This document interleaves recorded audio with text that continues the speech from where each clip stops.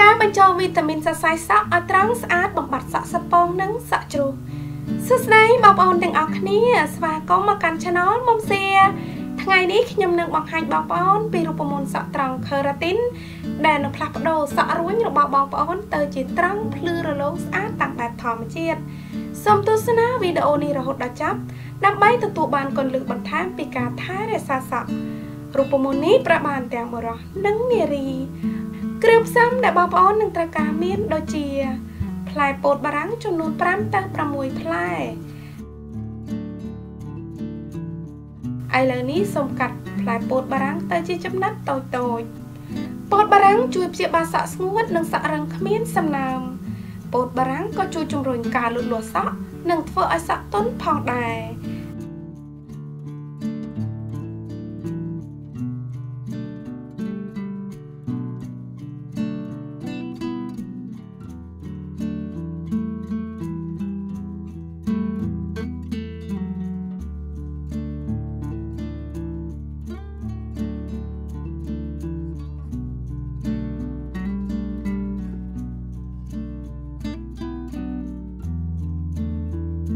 ឥឡូវនេះសូមដាក់ពោតបារាំងចូលទៅក្នុងឆ្នាំង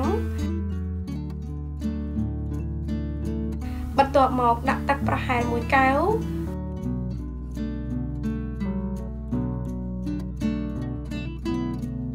រួចយកទឹកដាក់ដាំឲ្យពុះចំនួន10ទៅ15នាទីបងប្អូនក៏អាចបន្ថែមទឹកបានផងដែរប្រសិនបើបងប្អូនត្រូវការ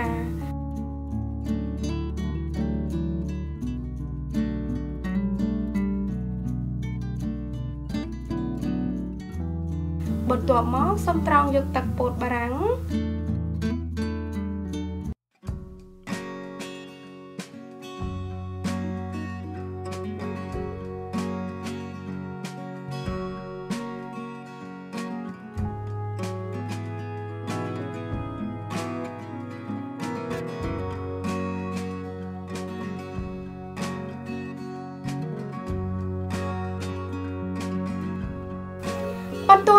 ទាប់មកទៀតសូមដាក់ម្សៅពោតចំនួន1ស្លាបព្រាបាយចូលទៅក្នុងចានតូចមួយ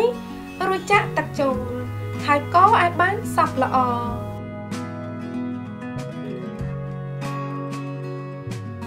រួចហើយចាក់ម្សៅពោតនេះចូលទៅក្នុងល្បាយពោតបារាំង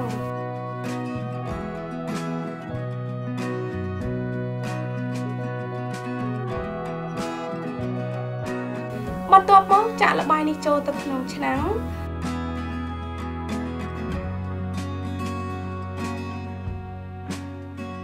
រួចយកទឹកដាក់ដាំក្នុងកម្ដៅភ្លើងទាបបំផុត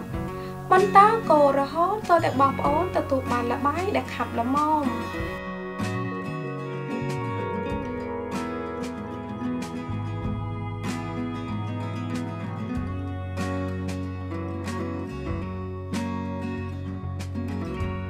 រួចហើយបិទភ្លើងហើយទុកឲ្យត្រជាក់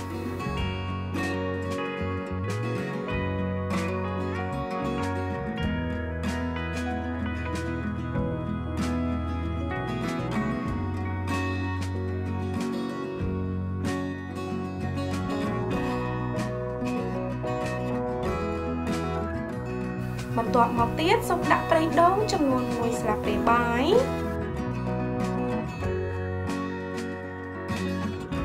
រួចហើយដាក់ប្រេងអូលីវចំនួន1ស្លាបព្រាបាយកូរបញ្ចូលគ្រឿងផ្សំទាំងអស់ឲ្យបានសព្វចូលគ្នាល្អរូបមន្តនេះក៏ជួយផ្ដល់សំណើមដល់ស្បែកក្បាលដែលស្ងួតរមាស់ផងដែរវាក៏បញ្ឈប់ការជ្រុះសក់និងបណ្ដោះសក់ត្រង់កន្លែងទំពេកបានផងដែរ ម៉ាស់ keratin របស់យើងគឺបានរួចរាល់របៀបលាបម៉ាស់នេះដំបូងបងប្អូនត្រូវបែងចែកសក់របស់បងប្អូនជា4ទៅ5ផ្នែកលាបម៉ាស់ keratin នេះឲ្យសព្វពេញសរសៃសក់ក្របសក់របស់បងប្អូនជាមួយនឹងថង់ឬមួកសម្រាប់ងូតទឹកទុកម៉ាស់ keratin នេះនៅលើសក់របស់បងប្អូនរយៈពេល2ម៉ោងបន្ទាប់មកកក់សក់របស់បងប្អូនជាមួយនឹងសាប៊ូ សូមប្រើរូបមន្តនេះ2ទៅ3ដងក្នុងមួយសប្តាហ៍សម្រាប់លទ្ធផលកាន់តែប្រសើរបងប្អូននឹងឃើញភាពខុសប្លែកគ្នាតាំងពីការប្រើប្រាស់លើកទី1ខ្ញុំសង្ឃឹមថាបងប្អូនជិះចិត្តវីដេអូនេះអរគុណច្រើនសម្រាប់ការទស្សនាជួបជាមួយនឹងនាងខ្ញុំមុំនៅវីដេអូបន្តទៀតសូមជម្រាបលាបាយបាយ